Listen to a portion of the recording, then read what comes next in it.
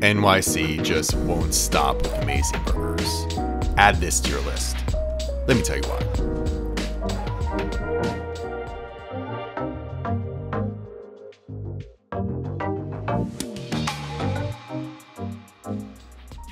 Gus's Chop House in Carroll Gardens is serving a menu full of amazing meats, all elevated with the classically trained chef's touch. Of course, the burger is where my eyes went. The patties are a mix of 60% lean beef, 10% dry aged trim, and 30% lardo. That's seasoned, placed on a flat top, and pressed lightly to get that perfect sear. Just look at that crust that's developed. While that continues to cook, a brioche bun is buttered and toasted alongside, and caramelized onions are added to reheat and sear up. The burger comes off the flat top and gets a thick old piece of aged cheddar before going into the oven to finish cooking and melting.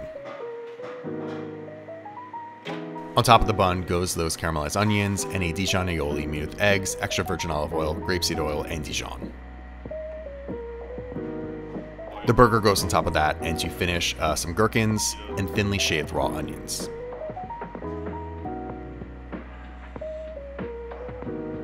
Of course, what is a perfect burger with that french fries? Also, that comes on the side.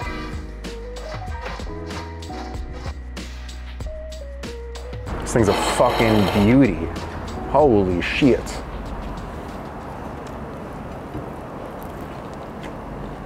Right away, that char they built on that burger is fantastic. So much flavor. Love that crunch.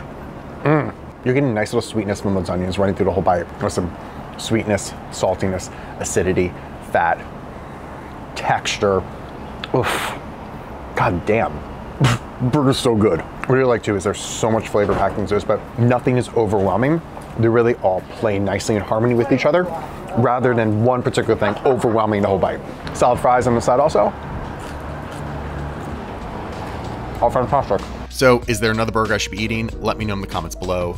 And if you made it this far, thank you so much. I go on food adventures all over the world, so a sub would be great. And here are a couple of other burgers I think you'll love.